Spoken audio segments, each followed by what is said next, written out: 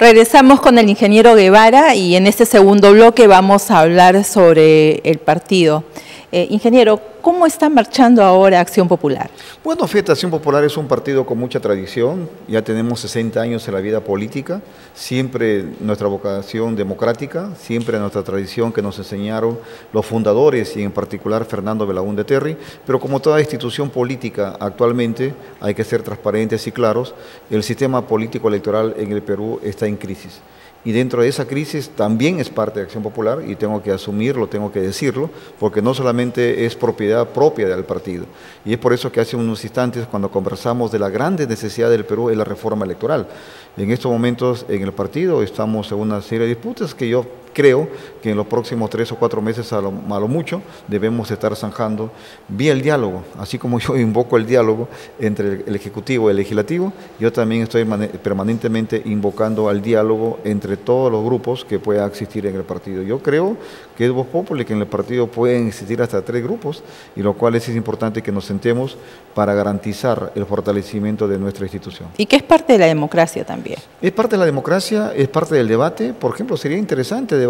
Por ejemplo, ahora hay una corriente nueva que quiere implantarse en el partido, que tiene fundamentalmente eh, un tufío de socialdemócrata, cuando eso el partido está muy distante. Nosotros tenemos una ideología propia, eh, pensada e, e, inspirada en el propio suelo peruano. Nosotros no hemos copiado, no hemos importado ninguna ideología, tanto del socialismo, del social cristianismo, ni tampoco de la socialdemocracia.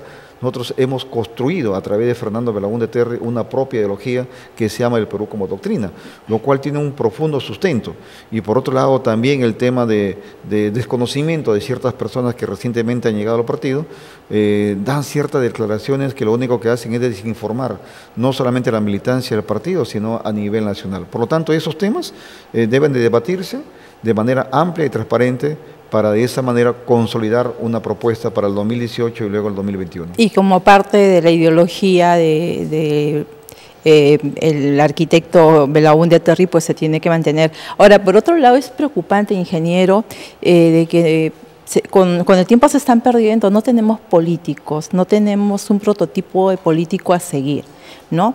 Entonces, en algún momento usted ha pensado eh, en el mismo partido, eh, organizar como una escuela de formación para nuevos líderes políticos jóvenes que se puedan pues formar y, puedan ser ya de acá a un mediano o largo plazo los representantes de Acción Popular?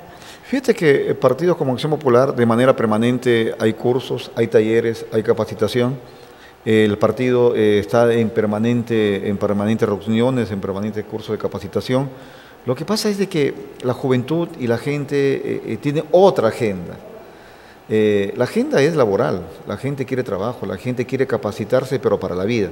Y muchas veces lo que hablábamos hace un instante de la formación política y la reforma electoral están íntimamente ligadas porque hay muchas personas, brillantes peruanos, hombres y mujeres, peruanos y peruanas, de que incluso les gustaría participar en política, pero no lo hacen porque lo ven como una actividad prácticamente casi delincuencial. Como que se ha distorsionado con el tiempo, ¿verdad? Entonces, mientras no logremos dignificar la política, mientras no logremos hacer que la política sea de aquellas personas que lo inspiraron, grandes filósofos, nadie va a querer participar en política. Los jóvenes van a participar por entusiasmo, pero no por vocación ni por un compromiso con el desarrollo del Perú. Y, que es importante y urge tener eh, políticos, ¿no? El, país merece tener buenos políticos, no improvisados, que es lo que se está viendo, por eso vemos las consecuencias también en el legislativo, ¿verdad? Sí, a lo que lo vamos a hacer en un instante, por ejemplo, hay congresistas actualmente que no solamente brillan por el anonimato, sino porque simple y llanamente cuando uno oculta su hoja de vida, eh, ni siquiera saben dónde han estudiado, y otras personas que han estudiado en colegios escolarizados, los cuales no critico, pero sí critico que ni siquiera aparezcan en esa base de datos de ese colegio no escolarizado. Y por otro lado también hayan personas que digan que han estudiado en la universidad, luego cuando uno va ni siquiera han estudiado. Y eso no es tan grave, lo más grave incluso que hay personas que están involucrados en lavado de activos, lo cual hace que el Congreso de la República esté prácticamente secuestrado por sus propias falencias y no tenga la capacidad de buscar la reforma del Poder Judicial que el pueblo peruano tanto anhela. ¿Cómo una persona investigada o denunciada va a tratar de investigar a un juez? Preocupante que no tengamos personas capaces en el legislativo. Ingeniero, ha sido un gusto haber conversado con usted. Esperamos tenerlo muy pronto por Perú Reporte. Muchísimas gracias. Punto final a Perú Reporte.